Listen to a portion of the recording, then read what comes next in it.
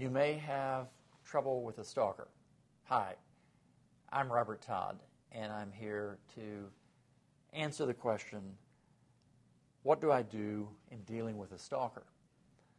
Well, the first thing is treat it as a very serious matter. This is an area where I would advise you to err on the side of caution as opposed to waiting any period of time before you report it to your local authorities.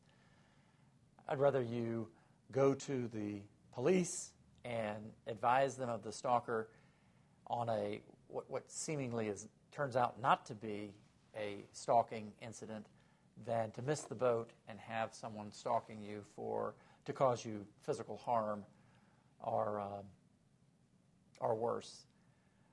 Some of the things you do in, in, dealing with a stalker, obviously, change your phone, your, your phone number.